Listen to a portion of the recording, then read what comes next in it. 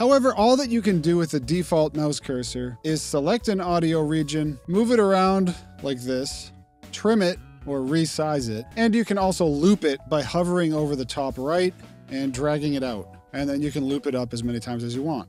Okay, that's all well and good, but you're missing out on some pretty powerful editing tools right out of the gate. And these aren't really advanced options. Rather, these are tools that I think even a novice will want to have access to. So we go up to Logic Pro in the top left, go to Settings, let's go to General, and here, where it says Pointer Tool in Tracks provides, we're going to click all of these.